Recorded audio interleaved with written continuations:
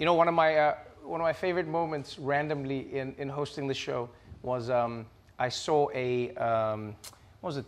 What do they call them? Do they call them a truth social? That that like fake Twitter that no one, even the right wingers, aren't on really. A truth, right? I don't know what it is. Anyway, a what? No, it's like a, it's called Truth Social, I think. Ah, no one cares. Anyway, the point is, the point is Trump sent out one of his thingies. I don't know what they called, and um, it said it was like um, uh, Trevor Noah was never funny.